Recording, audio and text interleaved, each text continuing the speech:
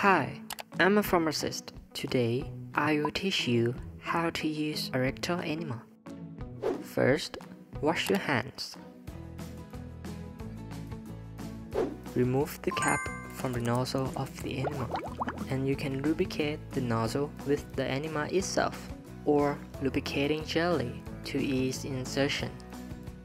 Lie on your side with your lower leg straight and your upper knee bent towards your chest.